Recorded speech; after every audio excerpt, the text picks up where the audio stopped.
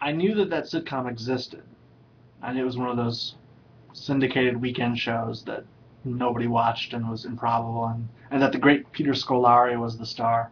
But no, I did not know Ed Ferrara was involved. Although it's not a real surprise to learn that, but you know, yeah, it's just trivia.